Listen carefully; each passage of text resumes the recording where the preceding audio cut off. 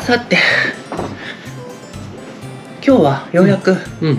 えっ、と里親登録の審議会前の最終面談うん。家庭訪問うん。の日がやってまいりました。はい。約半年？早かったね。早かったね。うん。いろいろ手続き早く済ませてくれた気もするし。うん、ね。ありがたいことにね。うん。うんで多分これからあと30分ぐらいで児童相談所の方がお見えになりますと。はい。で今回申し込み前にうん。仕事を辞めちゃうって話があったじゃん。ああそうだね。うん。それがなんとうん。おめでとうございます。あ 次ね。次のお仕事がうん。無事決まりましたね。そうですね。うん。うん。なんか実はえっ、と仕事がなくなるっていうあの動画を撮ったのがえっ、と本当は7月の最初の頃だったんだよね。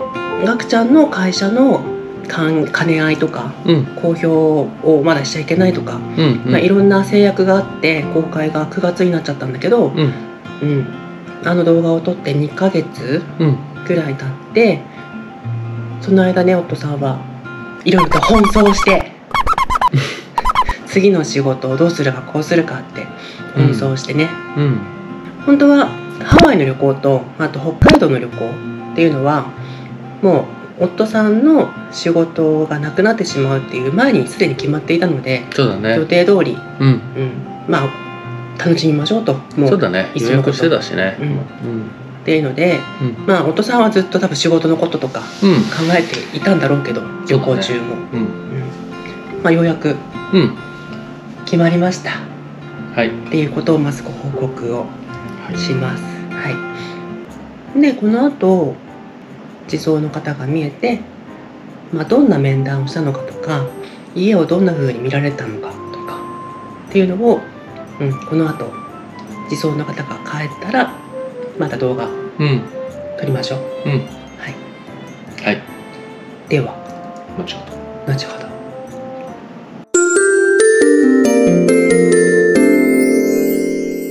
ダイナチャンネル。はい、はい、無事。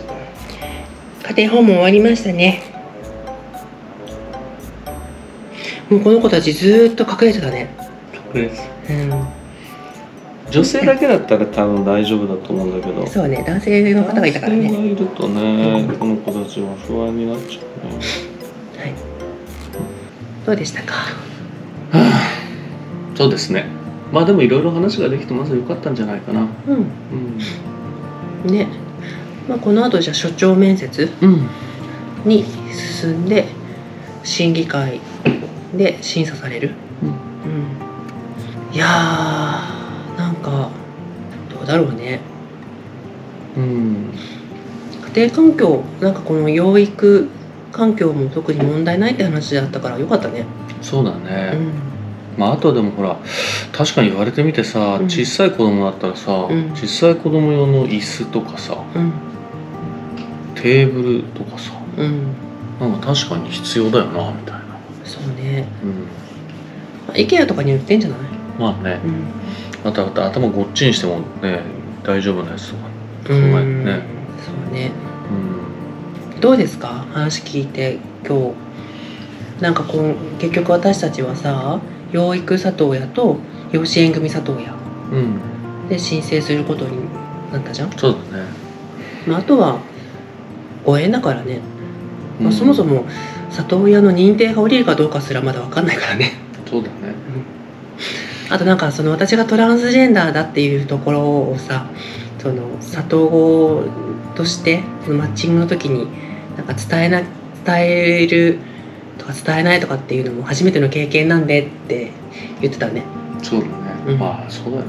うん、だから私としてはもしそのああそんな人のところに行きたくないって言うんだったらその子の気持ちがちゃんと汲み取ってもらえたらいいなと思ってる。う。ん。まあ、それでもななぜ嫌だって言ってるのかどうかっていうのもねちゃんと理由を聞くって言ってたけど、うん。うん、だって理由はもう嫌なものは嫌だって多分言うと思うんだよね。うん。うん、でも本当に嫌なものは嫌でさ理由がね曖昧でも嫌なところには行きたくないじゃん。そうだね。うん。だからもし嫌だっていう子だったらうんその子の気持ちが優先されるといいなと思った。お腹空かしてるわ。食べたいってなんか。いやあとはそのさあの児童相談所にこう保護される時にさ実親がさその収入によってさその県にお金を払ってるっていうのは知らなかったね。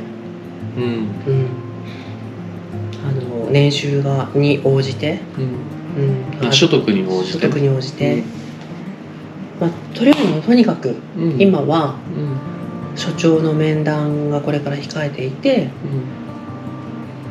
うん、審議会に間に合うかどうかうん。うんっていうところですね。